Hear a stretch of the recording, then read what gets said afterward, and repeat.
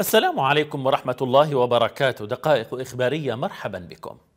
عقدت هيئة الشورى المحلية للتجمع اليمني للإصلاح في محافظة المحويت اليوم السبت دورتها الاعتيادية في أجواء ديمقراطية شوروية تحت شعار الإصلاح نهج شوروي ونضال وطني. وبالتزامن مع احتفالات شعبنا بثورتي السادس والعشرين من سبتمبر والرابع عشر من أكتوبر والذكرى الثالثة والثلاثين لتأسيس الإصلاح. وترأس الجلسة أكبر الأعضاء سنا وأكد خلال كلمته على أهمية انعقاد الدورة في ظل الظروف الاستثنائية التي تمر بها البلاد نتيجة الحرب التي فرضتها ميليشيا الإرهاب الحوثية وسيطرتها على مؤسسات الدولة العامة والخاصة. وثمن الدور الوطني لقيادة أعضاء الإصلاح في المحافظة على في مختلف مراحل النضال الوطني. وفي بدء الجلسة ترحم الحاضرون على أرواح الشهداء والمتوفين من أعضاء الهيئة والمكتب التنفيذي وأعضاء وقيادات الإصلاح وعلى رأسهم القاضي العلامة محمد أحمد السرمي رئيس هيئة الشورى المحلية بالمحافظة والعلامة أحمد حمود الشيخ وكافة شهداء الجيش الوطني وقوات الأمن والمقاومة الشعبية. الذين ارتقت أرواحهم الطاهرة في المعركة الوطنية في مواجهة ميليشيا الحوثي الإرهابية. ووفقا لأحكام النظام الأساسي واللائحة العامة ولائحة التنظيم المحلي للإصلاح وفي أجواء شوروية ديمقراطية فقد أجرت هيئة الشورى دورة انتخابية جديدة لقيادة الإصلاح في المحافظة بالاقتراع السري والمباشر وقد أسفر ذلك عن انتخاب رئاسة جديدة لهيئة الشورى المحلية من الإخوة التالية أسماؤهم. أحمد علي الصلح رئيسا للهيئة. وعلي محمد أحمد الخطيب نائبا لرئيس الهيئة وعبد الصمد أحمد الشيبة مقررا كما تم انتخاب لجنة قضائية مكونة من الإخوة التالية أسمائهم. عبد الله علي صالح الجالدي وإسماعيل مقبل عبد الله وعلي حسن محمد جحيش.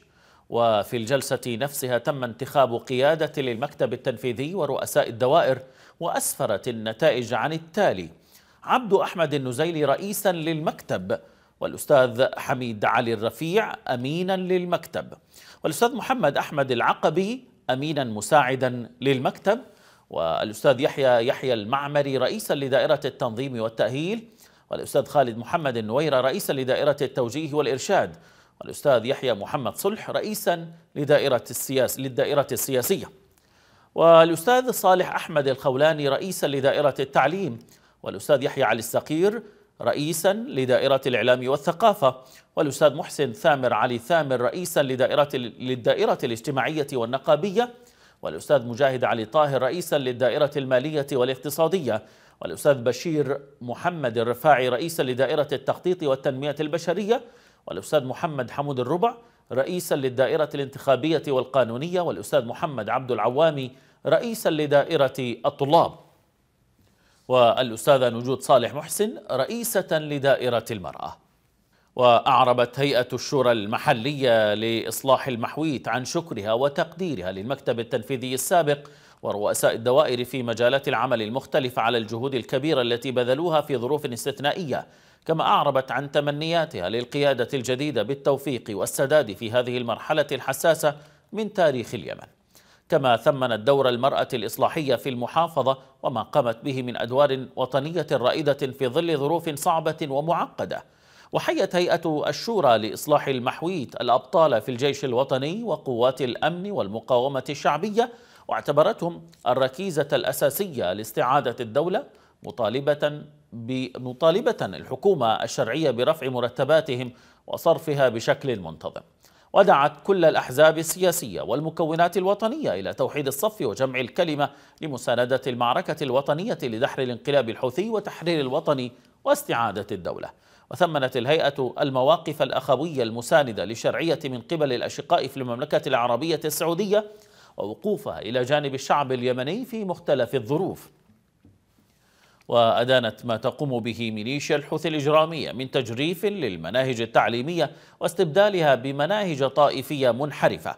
ودعت هيئة الشورى المحلية كل أولياء أمور الطلاب في المحافظة إلى تحصين أبنائهم من خطر الأفكار المنحرفة لميليشيا الحوثي والدفاع عن الهوية الوطنية. أعلنت اللجنة الطبية العسكرية إنهاء علاج جرحى القوات المسلحة اليمنية في مصر جراء عدم صرف الحكومة ومجلس الرئاسة الموازنة المخصصة لعلاج جرحى الجيش في الخارج. وجه رئيس اللجنة الطبية العسكرية لجنة علاج الجرحى في مصر بإنهاء عملها رسميا بحلول نهاية سبتمبر الجاري.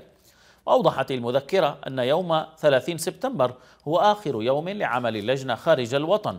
ولن تتحمل أي تبعات أو تكاليف بعد هذا التاريخ سواء للجنة أو للجرحى ما لم يستجد جديد.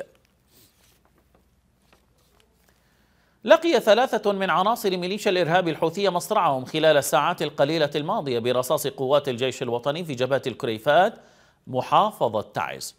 وقال مصدر عسكري أن قياديا حوثيا لقي مصرعه مع اثنين من مرافقيه في هجوم لأبطال الجيش الوطني على قلعة اللوزم ردا على خروقات وتصعيد وعدوان الميليشيا الحوثية. قال رئيس الدائرة الإعلامية للتجمع اليمني للإصلاح علي الجرادي إن أجمل المناسبات وأعذبها ما صنعته الأقدار ومنها التوافق في شهر سبتمبر بين ذكرى ثورة اليمن الخالدة وذكرى تأسيس حزب التجمع اليمني للإصلاح.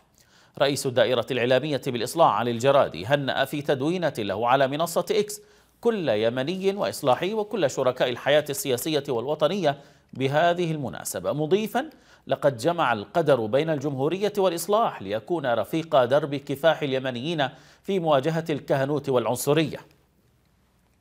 أكد علي الجرادي أن هذا الاقتران ليس ذكرى ميلاد بل اقتران عمده الإصلاح بالتضحيات الجسيمة في حماية الجمهورية بما تمثله من حرية وكرامة ومساواة.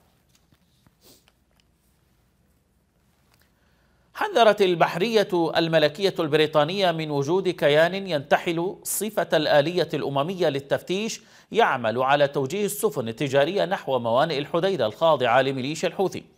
وقالت هيئة عمليات التجارة البحرية في المملكة المتحدة في بلاغ إنها تلقت معلومات عن وجود كيان ينتحل شخصية آلية الأمم المتحدة للتحقيق والتفتيش في اليمن يقوم بتوجيه السفن التجارية المتواجدة في محيط مرسى عدن الواقع تحت نفوذ الحكومة المعترف بها دوليا إلى ميناء الحديدة الخاضع لميليشيا الحوثي غرب البلاد. وقالت هيئة عمليات التجارة البحرية في المملكة المتحدة في بلاغ إنها تلقت معلومات عن وجود كيان ينتحل شخصية شخصية آلية الأمم المتحدة للتحقق والتفتيش في اليمن يقوم بتوجيه السفن التجارية المتواجدة في محيط مرسى عدن الواقع تحت نفوذ الحكومة المعترف بها دوليا إلى ميناء الحديدة الخاضع لميليشيا الحوثي غربي البلاد.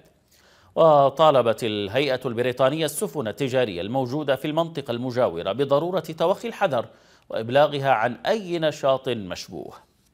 تخيل. قال المرصد اليمني للألغام إن السيول جرفت عبوات ناسفة مموهة وألغاما حوثية في مزارع المواطنين في مديرية حيس بمحافظة الحديدة. وأوضح المرصد أن حياة الفلاحين في الحديدة معرضة لمخاطر كبيرة وفقد الآلاف منهم مصادر رزقهم جراء تلوث مزارعهم بالألغام والعبوات الناسفة الحوثية ومخلفات الحرب. أعلنت اللجنة الدولية للصليب الأحمر إصابة آلاف اليمنيين بالإعاقة منذ بدء الصراع في اليمن وقالت اللجنة الدولية في بيان على منصة إكس لقد أصبح آلاف الأشخاص معوقين نتيجة انفجار لغم أو إصابتهم بطلق ناري منذ بدء الصراع في اليمن قبل ثمانية أعوام. أعربت الجمهورية اليمنية عن خالص التعازي وصادق المواساة للمملكة المغربية الشقيقة ولذوي ضحايا الزلزال الذي ضرب عددا من المدن المغربية وأسفر عن وقوع مئات الوفيات والجرحى. أكدت وزارة الخارجية في بيان صحفي تضامن الجمهورية اليمنية مع المملكة المغربية في هذا المصاب الأليم سائلة المولى عز وجل الرحمة للضحايا والشفاء العاجل للمصابين وأن يجنب المملكة المغربية كل شر ومكروه. دقائقنا الإخبارية انتهت في أمان الله.